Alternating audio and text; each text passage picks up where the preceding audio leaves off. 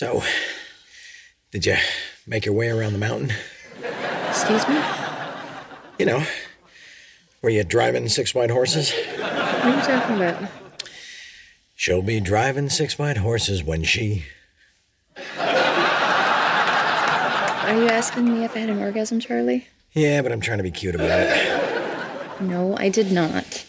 But it doesn't matter. It was wonderful. Were you at least close? Yes, I was close. Well, that's a start. Now, when you were close, what was I doing? You were downstairs getting a beer. I'm kidding. Can we please just drop it? Excuse me for trying to bring you back to guy.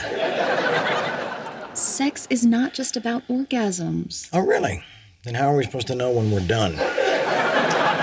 Don't pout. I'm not pouting. Yes, you are. Your bottom lip is sticking out.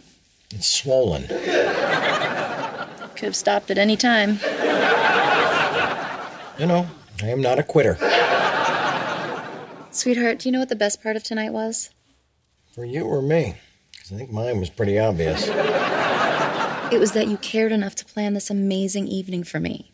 The beautiful dinner, wine on the deck, the two of us talking, just being together.